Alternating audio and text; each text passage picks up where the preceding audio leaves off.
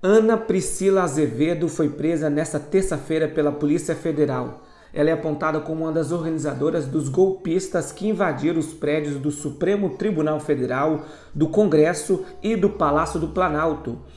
Ela aparece em vídeos durante os ataques golpistas e é responsável por páginas no Twitter e no Instagram em que foi incentivada a ação.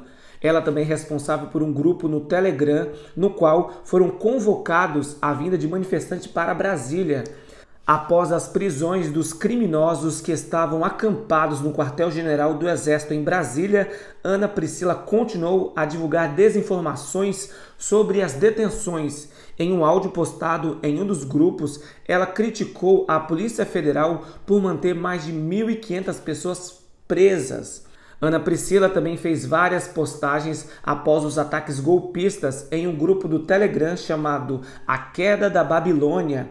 Ela negou em um dos áudios postados no grupo que tenha sido responsável pela depredação dos prédios públicos, mas voltou a falar em intervenção militar no país.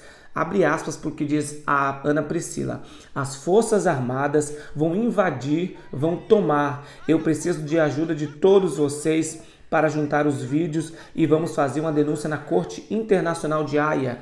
Fecha aspas, foi o que afirmou ela em uma das mensagens. Em outro áudio, ela afirma ter sido alvo de armação por causa de um vídeo em que ela aparece dentro do STF.